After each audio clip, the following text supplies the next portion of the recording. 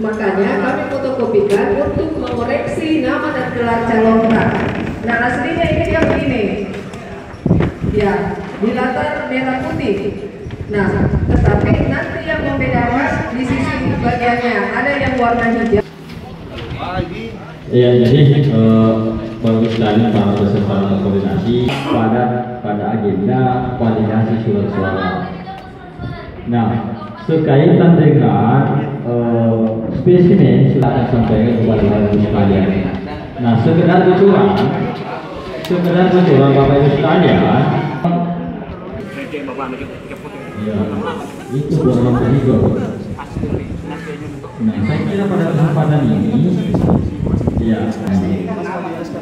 Nah, pada hari ini kita pada konsentrasi dengan validasi nama dan gelar akademik.